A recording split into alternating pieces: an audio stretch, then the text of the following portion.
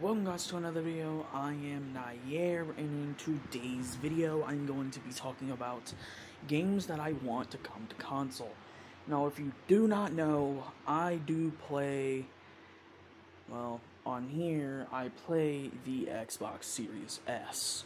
Yeah, I got the Series S. I do not have a disc drive, so I do not buy physical copies, and that was on purpose because I, I stopped buying physical copies when I started buying and getting really into getting digital games.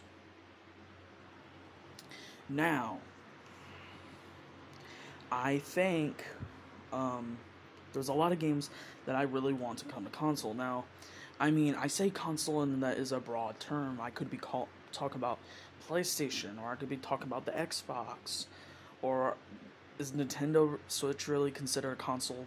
No, I don't think so. But either way, these two consoles, I could be talking about either one. Well, specifically the Xbox, of course. Also bring it to PlayStation.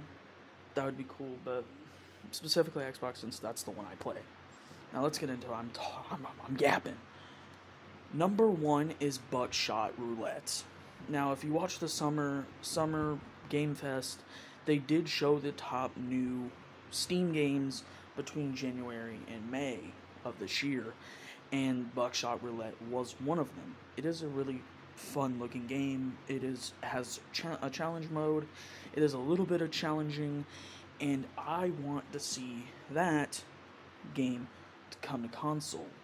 Now, I'm pretty sure the person that made Buckshot Roulette is not a team of developers. I think it is maybe a couple of dudes, maybe one dude. I don't know. If I remember right, he made other games in the past, and he is one guy, or at least like maybe like a few.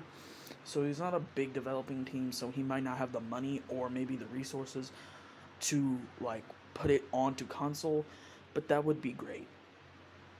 Game number two that I want to come to console is um, Fear 1. Now, I know this is a really old game from the 360 days, but it's not on the Xbox One or the new gen or anything. It is not non existent. Literally. Like, you can get Fear 2 and Fear 3. Everybody know Fear 3 sucks. Fear 2 is. It's alright, but I do want to get it. I want to play the first two Fears. Well, Fear 1 doesn't exist on here. It doesn't exist on the Xbox. They have 2 and 3, but not the first one. Makes zero sense to me. I don't know. Either way. Third game that I want them to bring to console is um and the next game is Abiotic Factor, a game that I think really has a lot of potential and is kind of pretty big on YouTube. I don't know about like streaming streaming play- platforms, but I do know that on YouTube there's a lot of YouTube creators that are making videos and series on Abiotic Factor. It looks like a very fun game. Yes, it's mostly co-op. I think you could play you could play solo, I'm pretty sure. But it probably is the funnest when you are playing with friends.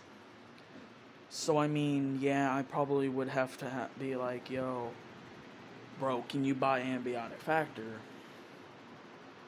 It would I would still play it alone, but it would be funner with friends. Game number 4 um is and I'm like I'm like blanking on the games that I want to come to console. Um, this is a group of games made by one developer, and it is Welcome to the Game 1, Welcome to the Game 2, Scrutinized, and Dead Signal. Four games in a similar type of series. Now, Welcome to the Game 1 and 2 are directly a, a, a series Scrutinized is a offshoot, but a really good game, and Dead Signal also is a really good game. Now I, I can't remember the the developers on the top of my head, but they make fun horror games. Survival I guess they're considered survival horror games because you gotta survive.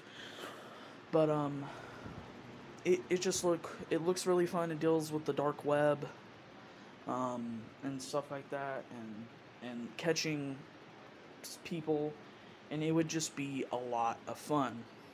Now number five technically is actually coming to console because I just saw it.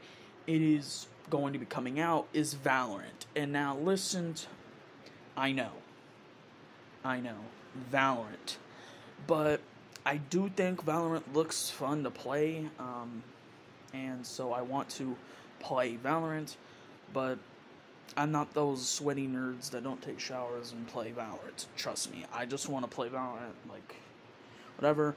Another game kind of similar is CSGO. Um, I kind of wish that was like playable on console. Um, CS:GO 2, wish it was on console. At least if they're not gonna like like redo CS:GO 1, CS:GO the original to be playable on console, then bring CS2. Um, another game that I want to see come to console is now if you want me to make a part two i'm going to do so but the last game that i can think of on the top of my head right now and i'm going to become i'm going to come prepared next time part two and write stuff down the last game is escape from tarkov and i like the whole concept of extraction shooters. I love shooter games. I've been playing shooter games since i was three because my first game ever game was black ops 1 and it is just it is just a great it would be fun. Um, i don't know why it's not on console. It's not like i don't think it would be that hard to put it on to console. But anyway and actually last game is mortars or marauders marauders that's how you say it marauders it is a game like escape from tarkov but it's in space and it is it's on Steam. I don't think it, it might be dead to be honest. I don't know, but when I did see it when it first came out, it looked really fun and looked cool, and it's not on console.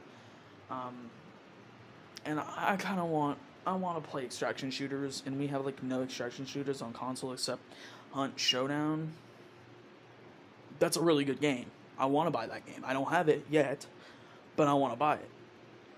It is we just need more extraction shooters on console.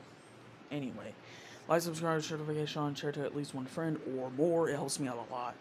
And uh, comment down below what games you want to play on console. If you play on console, you might be PC, PC watchers, gamers that watch me. Um, anyway, I'll see you guys in the next video. Fat on my chin, and see you guys in the next.